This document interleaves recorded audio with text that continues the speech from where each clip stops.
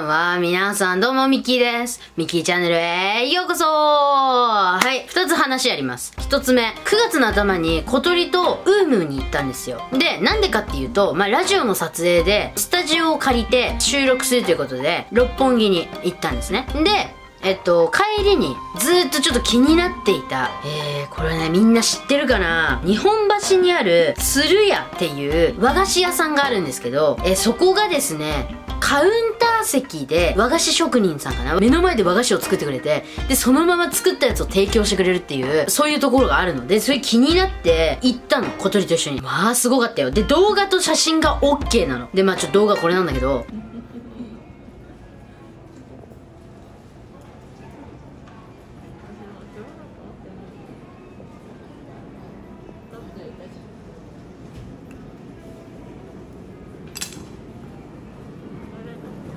緑のまあ和菓子を作ってるのがあると思うんだけど、この緑のやつは私が注文したやつ。アジサイだったかな？なんかそういうやつ。3種類の中から選べて、小鳥はね、ピンクのやつだったかな？で、お抹茶セットでね、お抹茶も出てくるんだけど、もうすごいのよ。和菓子の甘さとお抹茶の苦さがもう本当にマッチすんの。で、カウンターはそのこの目の前で作ってくれるやつで普通にね店内も席があってそっちにするとメニューから普通に選ぶっていうパターンなんだけど私はこのカウンターがちょっと気になっていたので行ったんですけどまあすごかったですね。で食べ終わったあたりぐらいでほうじ茶をほうじ茶なんかなんかお茶を出してくれてすごいねスモーキーな香りのするお茶でした。メニューに写真動画大歓迎ですみたいなそういう感じなの。私すごいなんか今のなんていうのその YouTuber とかさ、まあ、そんなね動画撮るっつってもさ許可もなしだからなんかあの今日はですねみたいな「うんバカ野郎」みたいなそんな感じになっちゃうと思うけどだから静かに別に普通に動画撮るよ。だからこの今の時代のことを分かってるなみたいな感じでしたよ本当に。でねなんかね日本橋？好き。さすごいなんか目の前に三越があって小鳥がお土産買うっていうことで、えー、三越のデパ地下で小鳥はお土産。私はこの鶴屋でえっと家族に、えーお土産。何買ったの？あそう。その時9月だったからお月見ということでなんかそういう砂糖菓子みたいなの買いました。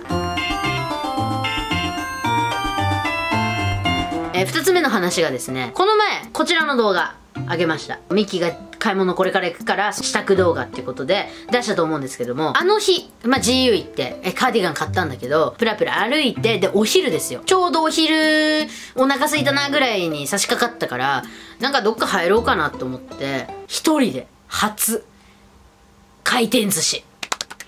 回転寿司に入りました。マジで初めて、もうドキドキしながら。でもまあ、一人で行動するのが好きだし、抵抗もあんまなく、ライブとかも行けるから。てかね、一人ディズニーをしたことによって、ももう2年は多分一人、基本一人で私ディズニー行ってるから、やっぱディズニーの一人はね、結構ね、いろいろなものになれます。寂しさもあるんだけどね。回転寿司、まあ、スシロー行ったんですけど、まあ、こんな感じであの、一人で食べてたよ。カウンター席でね、今仕切りがある感じだから、優雅に食べてたんだけど、これよ。新商品みたいなのがあって、何これと思って、ネギトロおはぎって書いてあったの。めっちゃうまかったから。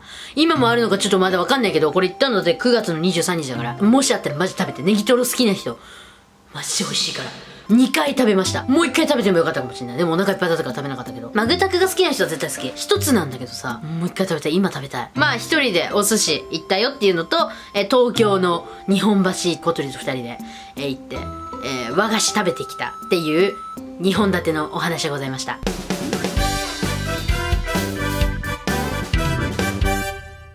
今日はですね、まあそんな今話した2つの話とちょっと繋がってるような診断サイト2つやっていきたいと思います。1つ目が、あなたはどの東京女子町女子タイプ診断というものと、あなたのぼっち体制度診断。この2つやっていきたいと思います。先に町女子タイプ診断からやります。ツイッターでね、見かけて面白そうと思ったんでやります。たくさんの表情を持ち、人々を引きつけてやまない東京。優しい顔、妖艶な顔、爽やかな顔、厳しい顔。そこに存在する町たちは特色豊かで奥深く、まるで人間のように様々な個性を持っています。歴史あるビジネス町からディープな繁華街まで、10の町タイプに分けてあなたの町人格を診断しちゃいます。一体どの東京女子になるかなという診断でございます。はい、やっていきます。え、名前を入力してください。はい、ミッキーで。はい、いきます。一つ目。住環境で最も重視するのは、おいいですね今ねちょうどね引っ越し準備中だからね家賃の安さアクセスの良さ飲食店の多さセキュリティ買い物環境の良さ勤務地までの所有時間、所要時間、最寄り駅までの距離、内装のおしゃれさ。うわ、めっちゃ迷う。勤務地までっていうのはちょっとまだ YouTuber だから、あの、ちょっとこれはまあない、なくてもいいんだけどね。で、まあ、ウームまでとかってこと？うーム、まあ、勤務地じゃないけど。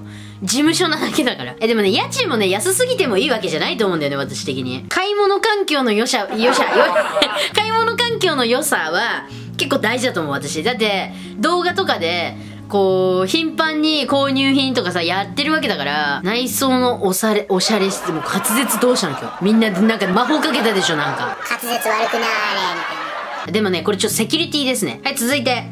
遊びに行きたいのは、美術館や博物館、おしゃれなカフェ、夜の繁華街、星付きレストラン、音楽フェス、雑貨屋巡り、テーマパーク、ニューオープン施設。あー、迷う。今行きたいのは、美術館や博物館だから博物館にする。次。座右の銘にするとしたら、明日は明日の風が吹く。時は金なり。一心不乱。七転び八起き。だよね。一期一会、進行法制、死ぬこと以外はかすり傷。石の上にも3年。あ、これはね、時は金なりです。はい。みんなもご一緒に、時間泥棒は犯罪です。次。あなたのスマホは何年も変えてない。常に最新機種。画面がバキバキでも気にしない。カバーや待ち受け画像にこだわりあり。ゲームアプリがたくさん。スマホにこだわりなし。SIM フリーで安く抑えてる。仕事用とし、は、プライベート用を分けてるってことね。あー、これかな？カバーや待ち受け画像にこだわりありかな。やってみたい職業はどれ？いいね。楽しいね、こういうのね。アイドル、パティシエ、ミュージシャン、芸能事務所の社長、カフェの経営、国家公務員、声優、アパレルディレクター、アナウンサー、YouTuber。あ、YouTuber やってるんで、そうだなあでもカフェかなカフェで。続いて、えー好きなお酒は、これはじゃああれだね。まだ未成年だから、二十歳になって飲みたいお酒っていう感じで選ばせていただきます。レモンサワー、ハイボール、梅酒、久保田？久保田って誰？久保田ってお酒があるの？コカレロ、シャンパン、白ワイン、地ビール？コカレロもちょっと全然ピンとこない。二十歳になって飲みたいのは、この中なら、あー、わかんねえななんだろうな白ワイン飲みたい。飲んでみたい。次。よく使う絵文字は？面白いですね。え、ちょ、ちょ、待って待って。私ね、正直言うと一番使うのはこれなんだけど、こうやって考えるやつもよく使うな。このハートのやつにしよう。はい、これ使います。えー、宝くじで100万円当選。さて何する？貯金する。飲みまくって遊びまくる。美容につぎ込む。推しに使う。海外旅行。家族と分ける。生活費に足して毎日少し贅沢する。資格取得や英会話など学習費用にする。私は、推しに使うな。あ、診断する出てきました。はい、行きます。私は何、何タイプなのか、何町女子なのか、行きます。で、おおおあなたの町タイプは、六本木女子。まあ、ウーム六本木だし。えー、ちょ読みますよ。美容意識が高く、こだわりが強め。美美容意識あるから、えーダサいことが大嫌い。えーまあ、なんとも言えない。なんとも言えないけど、少しくらい見栄を張っていたい。弱音を吐くことは滅多にない。自分の選択に自信がある。ああ、そうだね。キラキラした派手な生活が理想。割と肉食系。あんまり当たってない。こちら。えあなたのぼっち体制度診断。はい、一つ目。次の中で最も落ち着く場所は、人混み、ファミレス、図書館、布団の中。落ち着くとこでしょ？布団の中だよね。友達と出かけるなら次のうちどこ？遊園地、ショッピング、映画館、カラオケ。あー、これはね、基本ね、カラオケかな。カラオケ多いと思う。うん。次。最も楽しいと思う集まりの人数は5人以上、4人、3人、2人以下。私多くても好きなんだよね、別に。1人も好きなんだけど、多くても別に好きだから、自分入れて4人ですね。4人とかってよくない？ちょうど。スマホや PC、SNS がなくても生きていける。反対、やや反対、やや同意、同意。YouTuber としてだったら、ないと無理ってなるけど、もしそこちょっと抜いていいんだとしたら、まあ、やや同意かな。なんだろう、なくてもいいというか、無駄なエネルギーの意識がここにこう行く気がするから、ないならないでもいいんじゃないかという感じもあるね。はい。次、あなたのコミュニケーション能力はどのくらい？高い方だ。やや高い方だ。やや低い方だ。低い方だ。別にめっちゃ高いわけじゃないと思うの。ただ、仲良くなりたいと思ったらめっちゃ仲良く自分からするから、話しかけるし。だからまあ、まあ、やや高い方にしとこうか。あなたが最も苦手な話題は、えー自分の話、面白い話、恋バナ、人間関係の話。こ、恋バナ。よく連絡を取る親しい友達の人数は、ちょっとやめて、ちょっとやめて、ちょっとやめて、それはやめて。もう悲しくなっちゃう5人以下。友達となんて、マジ連絡取んないね。みんな元気？友達と連絡取ってるなんて本当もう、あ、まあ、小鳥とぐらいかな、本当に。あなたのストレス解消で最も近いものは、人に話す、汗を流す、眠る、一人になる。まあ、ものによるけど、ぶっちゃけ寝ちゃえばもう、大体 OK みたいなとこない新しい環境下で、あなたについて最も近いのは、対応は早い。気の合う仲間を探している。マイペース、一人ぼっち。対応は早くないですね。私は本当もう、あの、自分でわかるんだけど、初めましての人とかに心をこう開くのが遅いんですよ。その相手とか、その周りの人は多分ある程度私心開いてるだろうっていう感じに見えてるだろうけど、実際はめっちゃ開いてないから。で、なんかのタイミングでちょっと開けてくみたいな感じだから、対応は遅いんだよ。だからね、気の合う仲間を探していると思う、私は。次、最後ですね。あなたを表現するのに最も適切なのはどれ？無難？マイペース？自由？頑固？いや、自由だな。マイペース、そんなにマイワールドではいけないんで、ね自由です。はい。じゃあ結果見ます。でん。お出たえー、あなたの診断結果は、一人海水浴レベル。あなたのぼっちレベルは、レベル5の一人海水浴レベルになりました。一人海水浴レベルのあなたは、基本的に単独行動をとることの多いソロプレイヤーで、自立した神経の持ち主です。自由を愛しており、一人であることに羞恥心は持たないでしょう。ぼっち界では中級者に当たります。だって。えー、中級者なんだ。えー、もっともっとなんかめっちゃもう、すごいですよ、みたいな感じかと思ってた。